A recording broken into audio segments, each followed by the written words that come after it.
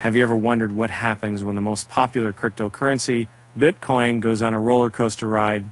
Well, let's dive into the thrilling day when Bitcoin's price took investors in the city result on a wild ride, resulting in some serious liquidations in the crypto economy. On June 20th, Bitcoin reclaimed the $66,000 level, but alas, it wasn't hold onto its victory for long.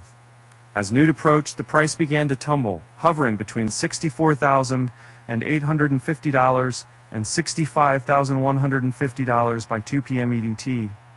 When Bitcoin moves, the rest of the crypto market follows suit, causing altcoins to rise and fall like leaves in the wind. As a result of this market volatility, an astounding $118.82 million in derivatives were liquidated across the crypto ecosystem. Bitcoin saw $33.1 million in short positions wiped out, while the Ethereum's price swings resulted in 22.21 million in long positions being liquidated.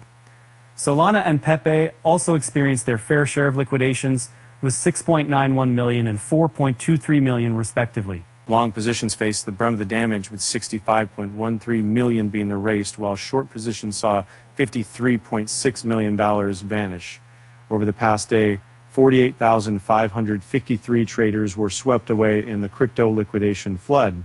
Uh, despite the recent liquidations, ongoing long activity, and bets against BTC's rise by hedge funds and traders leveraging crypto derivatives, exchanges, a 10% price rebound could potentially erase billions of in shorts. So, with Bitcoin's unpredictable nature, who knows what the future holds? And now for a, a little joke to lighten the mood.